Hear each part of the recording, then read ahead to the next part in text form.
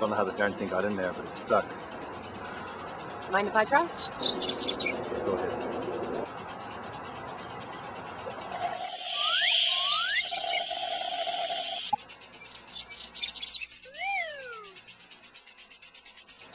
Oh!